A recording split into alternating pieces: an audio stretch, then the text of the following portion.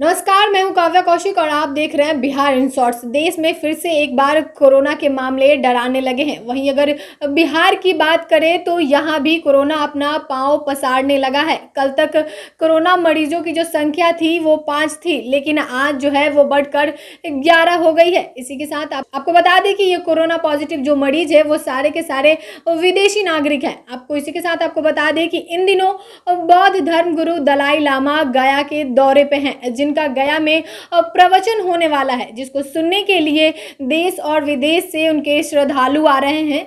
आपको बता दें कि इन्हीं श्रद्धालुओं का गया एयरपोर्ट पे कोरोना जाँच किया गया, जिनमें ये कोरोना पॉजिटिव पाए गए। फ़िलहाल के लिए इन सारे श्रद्धालुओं को होम आइसोलेशन पर रखा गया है। आपको बता दें कि बिहार में एक बार फिर कोरोना वायरस के मरीज़ मिलने लगे हैं। गया में ग्यारह पर्यटकों की रिपोर्ट कोरोना पॉजिटिव मिली है। ये सभी इंग्लैंड, बैंकॉक और म्यांमार के रहने वाले हैं। गया में दलाई लामा का अब कार्यक्रम है। वहीं पटना के साथ साथ दरभंगा में भी पॉजिटिव केस मिला है। हालाँकि इससे कोई केस बिहार सरकार की ओर से जारी होने वाली रिपोर्ट में अभी शामिल नहीं है। इसे आज जारी होने वाली रिपोर्ट में शामिल किया जा सकता है। एम्स पटना में दुल्हनिया बाज़ार का एक व्यक्ति कोरोना पॉजिटिव पाया गया।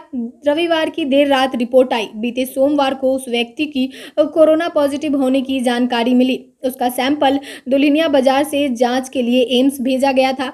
रिपोर्ट पॉजिटिव आने के बाद अब सैंपल को जिनोम सिवैक्सिक के लिए पटना के आईजीआईएमएस में भेजा गया।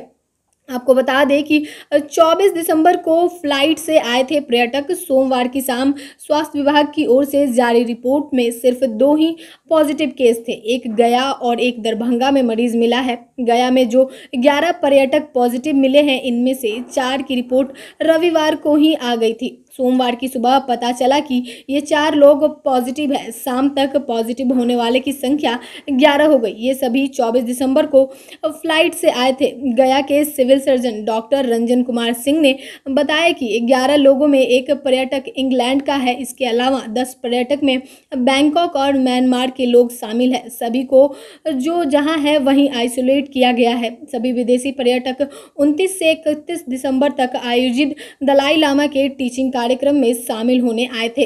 आपको बता दें कि गया में जो ग्यारह पर्यटक कोरोना संक्रमित मिले हैं, वो बिहार के नहीं हैं, वो इंग्लैंड, बैंकॉक और म्यांमार के हैं, जिनको अभी फ़िलहाल के लिए आइसोलेट किया गया है और फ़िलहाल के लिए उनकी, उनका इलाज चल रहा है। आपको बता दें कि ये सारे पर्यटक जो हैं, वो दलाई लामा के कार्यक्रम में शामिल होने के लिए आए थे, लेकिन वो अब कोरोना पॉजिटिव हो गए हैं, इसके लिए उन्हें आइसोलेट किया गया है।